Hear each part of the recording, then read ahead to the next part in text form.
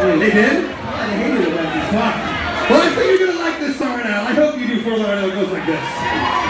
This is the old dude, Howard J. Ramsey, listening to Western J.